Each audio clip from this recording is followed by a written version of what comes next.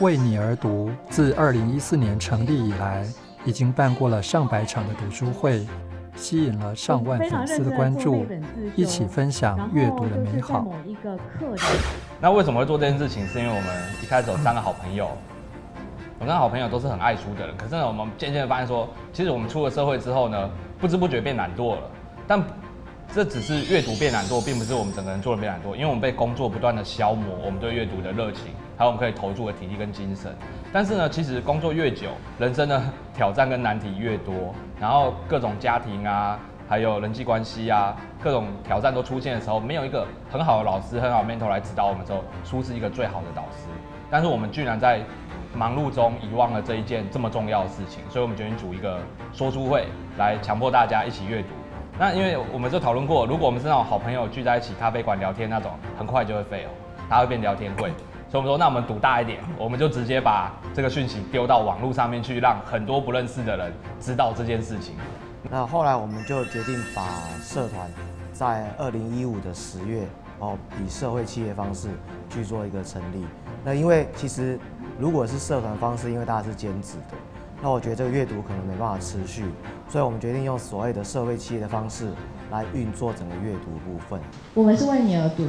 我们其实是有受过一些媒体采访，然后以及有一些合作伙伴，那已经深耕在这样子推广阅读的社群超过两年，并且办了一百场以上的活动。你会得到三本好书的丰富内容，以及电子书的下载。我们是一个充满温馨的知识型社群。那我们说过的书呢？除了趋势、职场、人文之外，我们曾经也说过小说，说过漫画。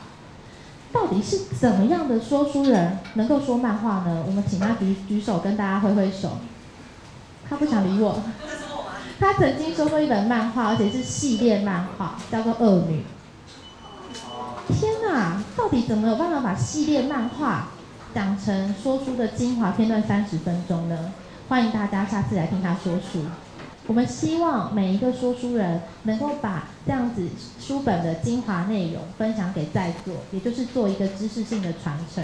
我们的讲者分成两种，一种是作家，第二种呢就是参与者参加过为你而读之后呢，他内心也想要分享他最感动的一本书。我们会后的时候都会问大家说，我们期待大家一起来分享内心最感动的一本书。我一直印象很深刻，就是书评第一次参加为你而读的时候，我也跟他讲这样的话。然后我以为他要跟我讲什么网络科技啊，呃，物联网啊，就没有。他讲的第一本书是留一段时间给自己。为什么？因为他当时在微软公司工作，面临高压的环境，然后他有一对双胞胎女儿，他没有时间陪伴他们，所以他觉得最触动他的一本书就是大家都被科技绑架，都被工作绑架的时候，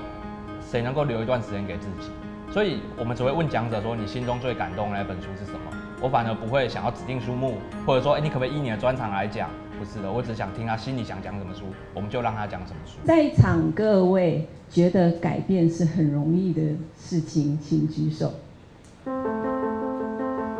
我想来当说书人、当讲者，我的动机是我想要回馈，因为在这边来听书的人，普遍来说年龄层都很年轻，因为在公司，公司我们是有代听。就觉得很多东西其实是可以分享，也因为我自己工作的性质，因为我比较常往外跑，就是出国参展、跑客户。其实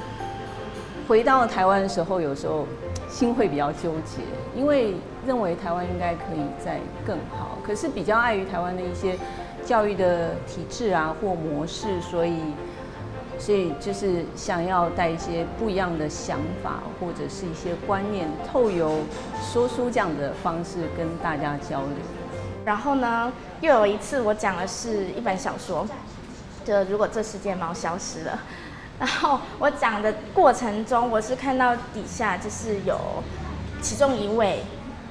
女士，然后她就是就就落泪了。然后那个时候。我是真的心里头也也颇受震撼，有被重击到，因为我才知道说，嗯，其实一个故事为什么会感人，不只是说那个作家写的非常好，而是说如果我们试着把它结合到我们的人生历程上，那你这人生历程也许又会跟另外一个人的人生历程会有共鸣。其实，在说书的过程中，就是彼此共鸣的时候。我自己呃得到阅读很大的帮助，就是阅读这件事情对我不管在人生或者是工作方面都有很大的启发跟帮助，所以呃我如果遇到人，我就会很想要跟他分享阅读的好处。那像这样子的一个场合，其实我们不需要去一个一个去跟人说阅读的好处是什么，而是有很多本身已经在在阅读这一件事情上已经有持